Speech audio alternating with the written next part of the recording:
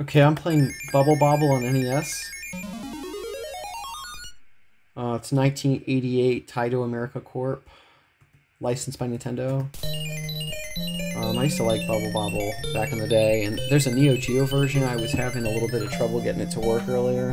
So, um, same with Alien. Um, I was trying to play Aliens, uh, the arcade game, but that didn't work either. Okay, so ah, cool. Okay, so I need to shoot these guys. All right. Okay, so then what? What do they turn into fruit? Okay, so then you can eat them. Cool. So I remember Bubble Bob, Bubble Bobble was like, um, you know, you shoot the. It's a puzzle, so it's kind of like Candy Crush. Really, not Candy Crush, but it's like a puzzle game where you shoot the bubbles with little dragons. I always thought that was so much fun. Just a mindless game. This reminds me of Dig Dug a little bit. Oh, he got me. I, I shot him, but he got me. Take that evil enemy.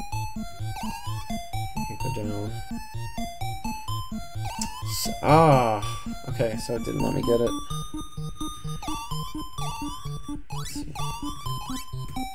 Oh,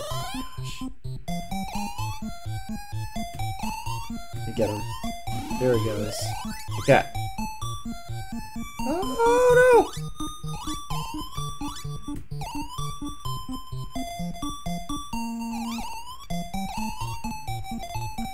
It's a little dicey because you don't really know where they're gonna go. Okay, he's going straight up.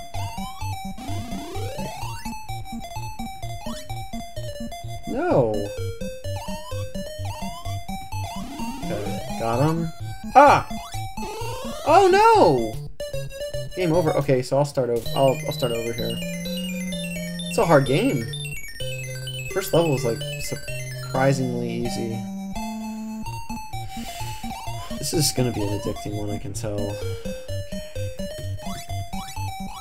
Ah! Now that I have a little bit of experience, you all have no chance. Delicious. Cute little iguana dragon is going to... Okay, so now... Oh no! I didn't jump correctly. Got it. Gotta kill him.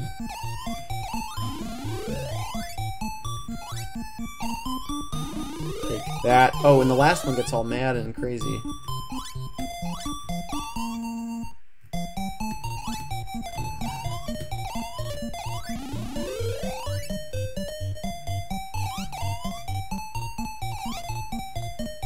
Alright.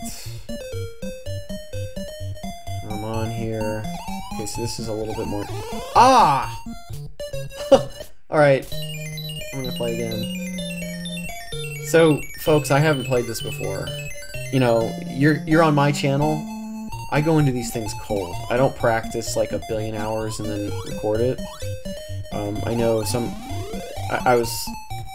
I was, um on Twitch, and you know, there's like a million Ninja Gaiden um, Twitch episodes where they people are like, "Oh, I'm gonna beat it without dying," you know, fast play, and um, that's all well and good. It isn't terribly fun though to go through the same game like a billion times, so I really like to explore different games.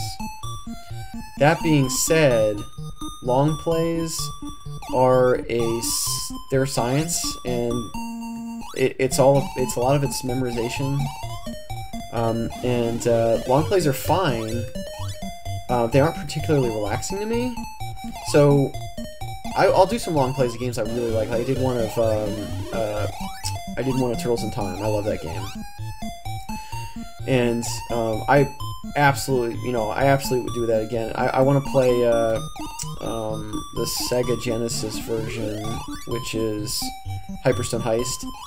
I still haven't beaten that one yet, but those are fun, you know, like kind of shorter plays, but the one, you know, some of these games take forever to beat, you know, so um, long plays, they have their place, and I really like goofing around and just trying different things.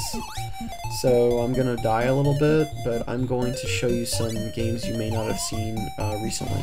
They're not super popular, or people may have forgotten about them. Like I've got a huge NES library that I'm gonna explore. I played Gilligan Gilligan's Island recently, and um, I did really really bad on that because I honestly I lost Gilligan and I had no idea um, what I was supposed to do until I'd wasted all my health and I talked to um, all the people on the island. They're like, "Where's Gilligan? Where's Gilligan?" So then I, I realized, oh, I gotta go back and get Gilligan, and you know, he uh, he really screwed the pooch. So I may revisit that one. I don't know. I may not. But I re- oh, he got me still. What I may want to do is play uh, that game type. I may want to play Roger Rabbit. So, oh my gosh, I, I'm lucky. Look at that.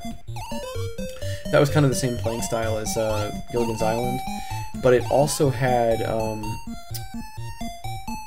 it had more of a.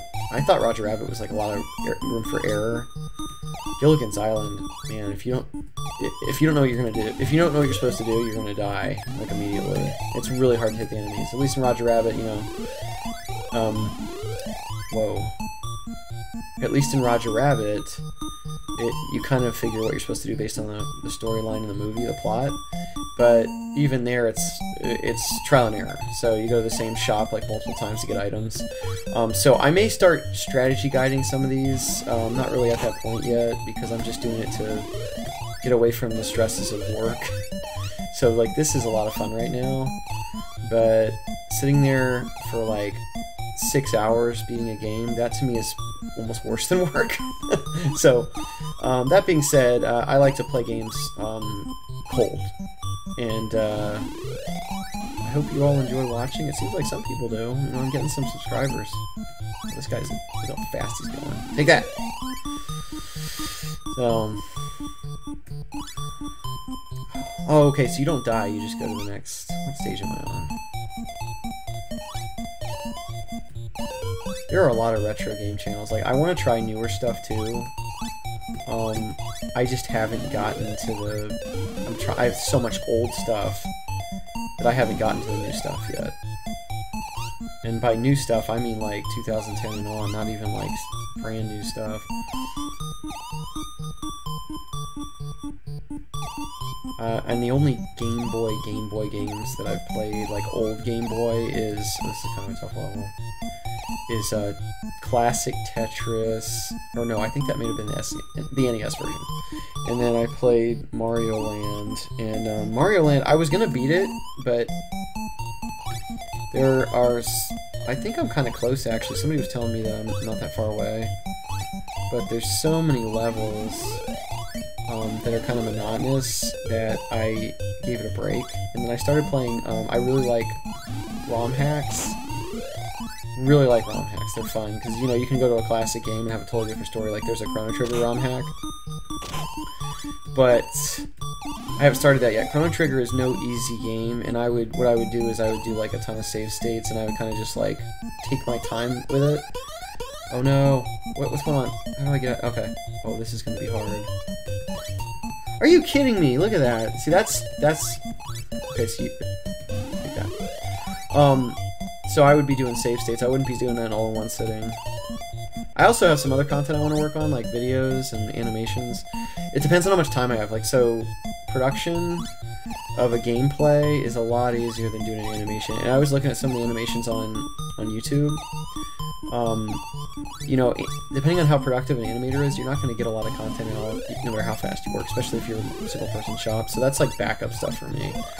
I tried to create um, channels that were totally animation based, and it was so much work, and people just weren't responding because like the amount of time it takes to create an animation as a single person, um, and then based on current events, it was not um, working out for me that well. So I just kind of was having trouble getting subscribers, you know, and I, I went to something a little bit easier. And, and this is a lot more fun for me because animations is like straight up work. It's a lot of work. It's hard. It's time consuming. You know, you can um, you can really spend like all day doing that stuff. Like there's a and this isn't 100% professional, like you can tell he does it all the time, but there's a channel called The Fox in Space, and his stuff is pretty good. So he's got a, uh, um, he's got like a noir style Star Fox story, um, and it's it's really good. But even there, you can tell that he just he's like overwhelmed with just animating one episode because um, he's had he's had Patreon episodes where he'll just sit there and like animate for 12 hours straight. Not of course do live, and of course I'm not going to watch all that. But a lot of a lot of these animation folks will put stuff up, and they will um, put up their their development process. Ow! Okay, so that's it. I think I'm going to move on to another game. I'm not going to start over on this because I got pretty far, but um, that's Bubble Bobble NES a little different than the other game. But hey, if you enjoyed watching, try it for yourself. It's a lot of fun. Um, thanks for watching. Feel free to like, subscribe, and share, and uh, I'll come out with some more content.